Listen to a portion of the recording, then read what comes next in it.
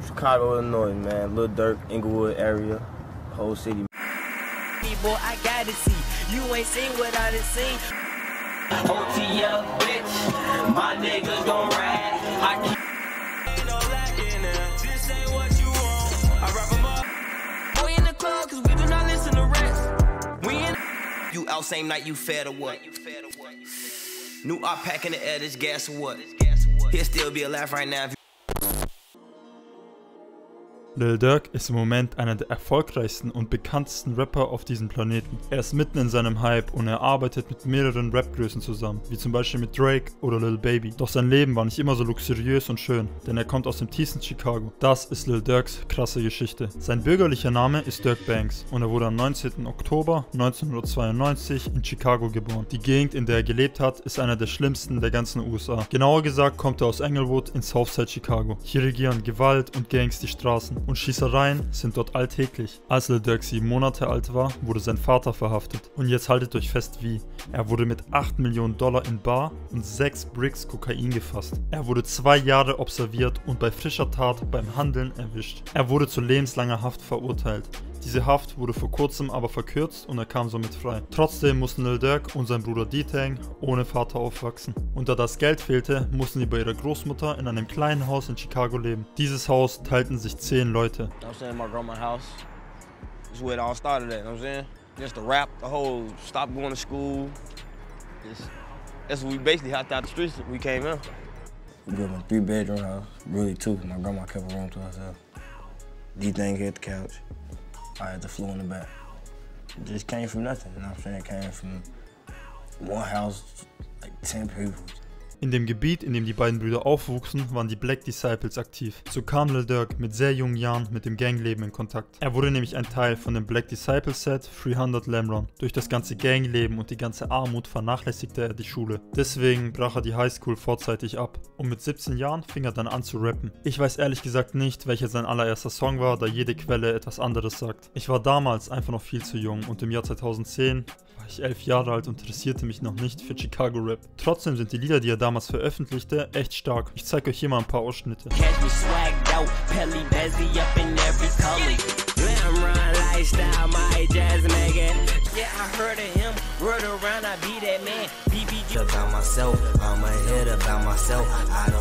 Baute er sich innerhalb von Chicago eine kleine Fanbase auf. Er gründete auch seine eigene kleine Crew namens OTF. OTF ist die Abkürzung für Only the Family. Only the Family bedeutet übersetzt nur die Familie. Diese Crew war nicht nur musikalisch, das waren einfach Freunde, die die ganze Zeit Zeit miteinander verbrachten. OTF war auch sehr gut mit GBE. GBE ist Chief Keefs Crew. Dadurch, dass Lil Durks Vater Big Dirk so respektiert war, war Lil Durk automatisch auch voll respektiert. Dirk war auch sehr gut mit vielen Black Disciples, die viel zu sagen hatten. Daher wurde seine Musik unter den Black Disciples echt krass gepusht. So dauerte es nicht lange, bis er sein erstes Tape releaste. Einmal Hitter kam im August 2011 raus und gehört zur Geschichte von Chicago Rap. Nur wenig später musste Dirk aber zum ersten Mal in den Knast. Im Oktober 2011 flüchtete er nämlich besoffen mit dem Auto von der Polizei. Als diese ihn dann catchte, fanden sie eine Waffe bei ihm im Auto. Er saß drei Monate im Knast und kam dann auf Kaution wieder frei. Dies brachte mir aber nicht wirklich viel, denn nur kurze Zeit später waren die Gerichtsverhandlungen wegen diesem Fall und hier wurde er zu paar Monaten Haft verurteilt. Dieser Knastaufenthalt war echt hart für Dirk, denn hier musste er seine Dreadlocks abschneiden und sein erster Sohn kam genau zu dieser Zeit auf die Welt. Deshalb wurde Lil Durk klar,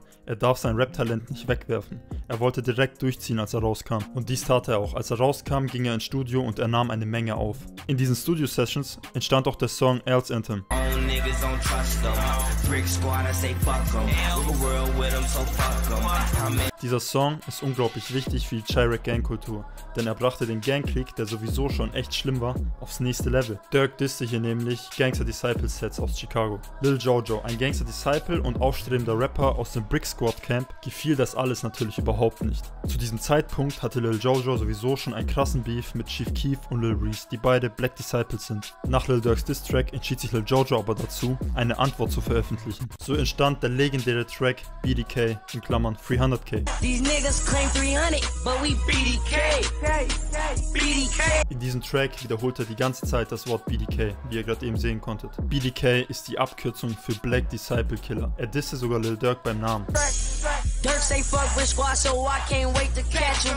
Und nur kurze Zeit nachdem Lil Jojo diesen Track veröffentlichte, wurde er getötet. Gerüchten zufolge soll Chief Keef Geld auf Lil Jojos Kopf gesetzt haben. Und nach diesem Tod wurden immer mehr Leute respektlos gedisst und immer mehr Leute starben. Auf beiden Seiten. Und sehr viele Leute sagen, dass die Erz Anthem von Lil Durk der Auslöser für die ganze Scheiße war. That BDK shit started, nigga, really because of Dirk. Lil Dirk started all that shit, bro. Im Jahr 2012 releaste Dirk dann auch zwei Tapes. Diese kamen zu einer Zeit, wo Musik aus Chicago voll am Kommen war. Deswegen bekam Dirk nun Anerkennung aus dem ganzen Land. Deshalb war es kein Wunder, dass sich Def Jam bei ihm gemeldet hat. Er und Lil Reese unterzeichneten bei ihm und sie hatten nun ein Label-Deal. Kurz danach gelang Lil Dirk dann auch der Durchbruch in den Mainstream. Er releaste den Track This Ain't What You Want.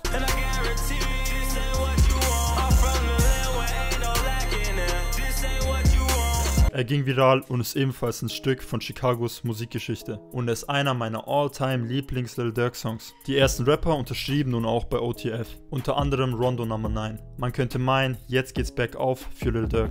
Dies war aber leider nicht der Fall, denn im Juni 2013 wurde er wieder wegen Waffenbesitzes verhaftet und angeklagt. Lil Durk probierte nämlich eine Waffe vor der Polizei zu verstecken, indem er sie weggeworfen hat. Seine Kaution wurde dann auf 100.000 Dollar gesetzt. Chief Keef, welcher zu diesem Zeitpunkt echt sehr wohlhabend und erfolgreich war, wurde gefragt, ob er sie zahlen würde. Dieser tat es aber nicht. Lil Durk und seine Leute feierten das natürlich überhaupt nicht. Und so entstand ein Beef zwischen den beiden Rappern. Es folgten einige Sneak Disses von beiden Seiten und ein Twitter-Beef entfachte. Dieser Beef ist aber Vergangenheit, denn heute respektieren die beiden sich gegenseitig und haben das alle schon vergessen. Trotzdem ist die Beziehung zwischen den beiden ein bisschen komplizierter als Außenstehender, denn sie sind nicht wirklich Freunde, aber sie sind auch keine Feinde. Jedenfalls war Lil Durk nach einem Monat wieder frei, da die Aussagen von den Zeugen ihn entlasteten. Eigentlich war er ja bei Def Jam gesigned. Zu dieser Zeit war er aber die ganze Zeit mit French Montana und seinen Jungs unterwegs. Deswegen gab es auch einige Gerüchte, dass er ein Teil von Coke Boys war. Dies war er auch, aber nicht vertraglich, nur familiär. Die Jahre vergingen und Künstler aus Chicago bekamen immer mehr und mehr Hype. Im Jahr 2014 release der Rapper Lil Mark einen Diss-Track. In diesem disste er echt viele tote Black Disciples. Darunter waren noch sehr viele von Lil Durks Freunden. Moldy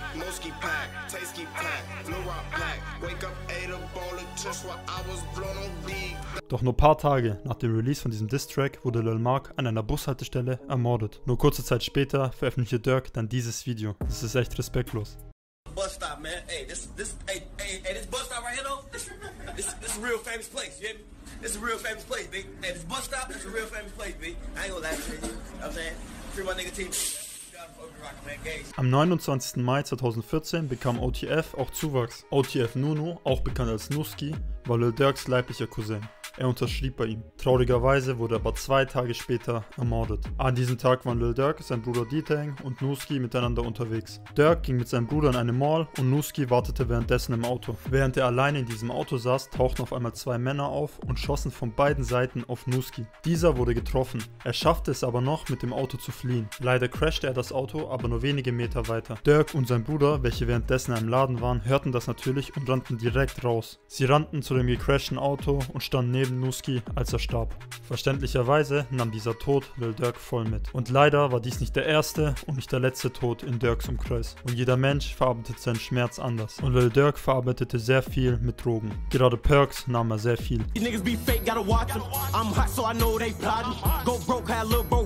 Und nur ein Jahr nach dem Vorfall mit Nuski starb Lil Dirks Manager OTF Chino. Er war auch ein sehr enger Freund und Dirk redete mit ihm nur 10 Minuten bevor der Anschlag auf Chino geschah. Chinos Mörder soll der gleiche gewesen sein wie der von Nuski, nämlich 051 Melly. Er hat viele Leute auf dem Gewissen und über ihn wird ein separates Video kommen. Nach sechs Jahren Zusammenarbeit entschied sich Dirk im Jahr 2018 dazu, Def Jam zu verlassen. Zu diesem Entschluss kam er, da er der Meinung war, dass er nicht genug Freiheit hätte. Er wollte einfach die Musik rausbringen, auf die seine Fans Bock hatten und auf die er selber auch Bock hat. Deswegen release er direkt nach der Trennung das Tape Cause Y'all Waited. Und finanziell ging es ihm inzwischen auch sehr gut, denn er besaß mittlerweile zwei Firmen. Eine Immobilieninvestitionsfirma und ein Speditionsunternehmen. Und da er jetzt ein Independent Artist ist, wollte er seinen Freunden die Möglichkeit geben, auch Musik rauszubringen. Deshalb signte er mehrere Black Disciples, unter anderem Memo 600, King Von, Booker 600 und noch viele weitere. Aus Chicago ist er auch schon längst ausgezogen, da er seinen Fokus auf die Musik richten wollte und nicht von irgendwelchen Street-Aktivitäten abgelenkt werden wollte. Natürlich war es auch eine Sicherheitsentscheidung, denn Chicago ist einer der gefährlichsten Städte der USA.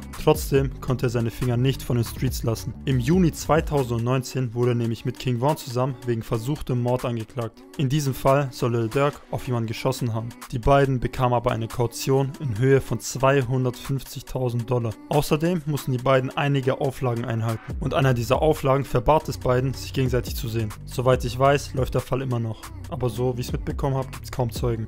Deswegen könnte Lil Durk davon kommen. King Vaughn starb leider im Jahr 2020 nach einer Auseinandersetzung mit dem Rapper Quando Rondo. Vaughn und Lil Durk waren nicht nur Labelkollegen, sie waren richtig dicke Freunde. Leider war das immer noch nicht der letzte Verlust für Dirk, denn dieses Jahr wurde sein Bruder D-Tank in den Kopf geschossen. Und jetzt kommt mir nicht mit irgendwelchen Verschwörungstheorien, dass Dirk seine Leute opfert. Alle seine Leute kommen aus den tiefsten Trenches und sind immer noch tief in den Streets verwurzelt. Und es ist halt leider so, live by the gun, die by the gun. Das alles hat nichts mit irgendwelchen satanistischen Ritualen zu tun, chillt mal. Hört euch einfach die Texte an, in welchen Lil Durk über seine toten Homies rappt. Ihr werdet den Schmerz in seiner Stimme hören. Musikalisch läuft es aber extrem gut bei Dirk. Er hatte nämlich einen Part auf Drakes Hitsingle Smile Now, Cry Later. Und diesen Part habt ihr euch bestimmt schon mal angehört. Er hat ihn komplett rasiert. Jetzt ist er einer der gehyptesten Künstler, die es gibt und hat sogar ein Tape mit Lil Baby rausgebracht. Inzwischen hat Lil Durk sieben Kinder von fünf Frauen und das ist halt lange noch nicht das Ende, denn er hat mal gesagt, dass er 10 Kinder haben will. Von den Perks ist er dank seiner Lebensgefährtin India auch weggekommen. Diese soll er anscheinend sogar schon geheiratet haben. Ich wünsche wirklich vom Herzen, dass seine Musik weiterhin so gut läuft und dass niemand mehr um ihn rum getötet wird. Er ist aktuell einer meiner Lieblingskünstler und wegen seinem Werdegang habe ich sehr viel Respekt vor ihm. Allein schon, weil er es von den Trenches nach ganz oben geschafft hat.